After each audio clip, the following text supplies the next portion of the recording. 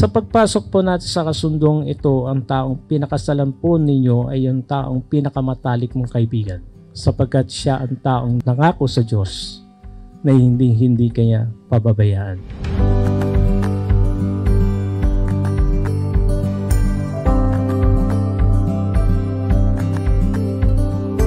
Ah, tayo na rin.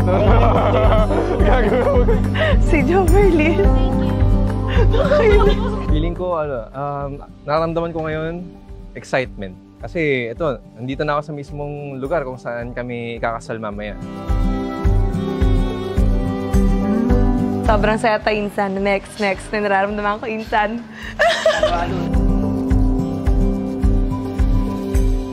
Love kasi is ano eh, risk.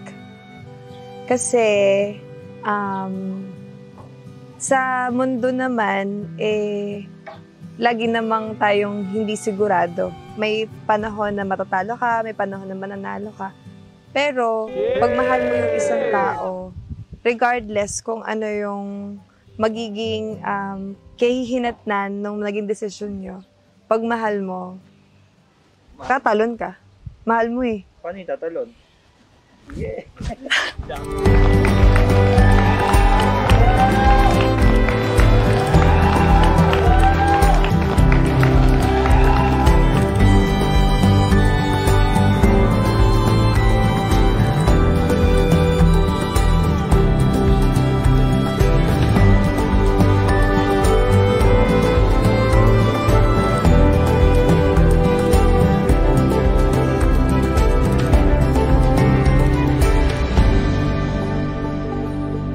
I woke up one day and realized that I couldn't imagine life without you. I know in my heart that you are the woman that I want to marry and spend the rest of my life with.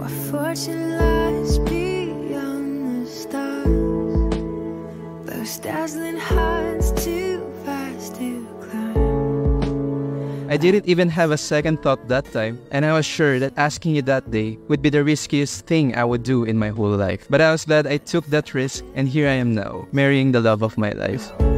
My heart beating, my soul breathing. I found my life when I laid it down. Our story is likely unusual.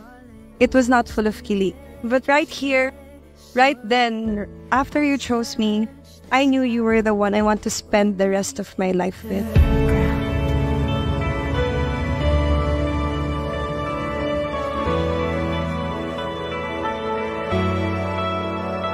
Ah, oh my God. Mamaya dyan siya papasok. Napabuntong hininga na lang ako eh. Gusto ko magpasalamat kasi napaka-strong ninyong ah, magulang. Hindi niyo kami pinabayaan. Naibigay niyo po lahat ng mga kailangan namin. At maraming salamat kasi nandito kayo ngayon sa aking kasal.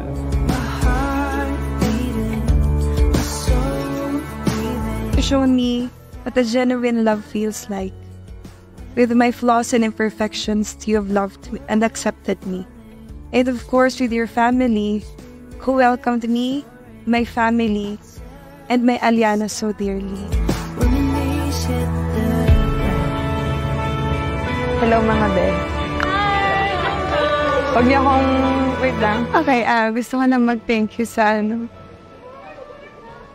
Gusto ko na mag-thank you sa sacrifices ninyong dalawa. Kasi hindi ako magiging kung sino ako kung hindi. Ah, wala kayo. Kasama ng pagsuporta kay Aliana. Salamat kasi hindi kayo sumuko sa akin sa pagpapalaki. Kaya sobrang thank you kasi ano, um, andito kayo hanggang sa susunod na ano. Pahiging kay ko.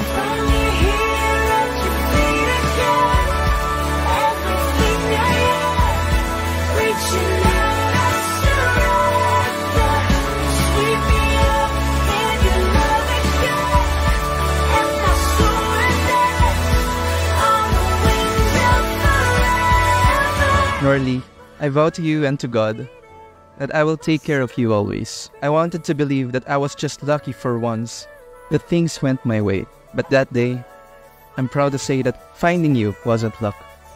it was love.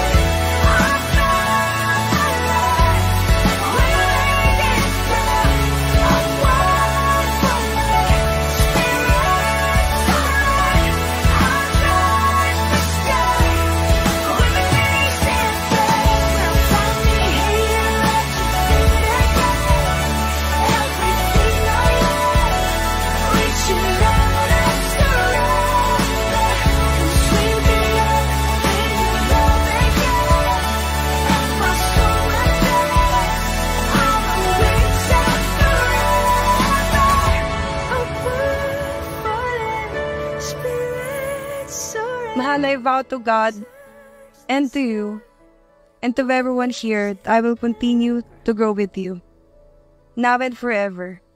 And lastly, there's no need to find, there's no need for me to find the home because you are now my home.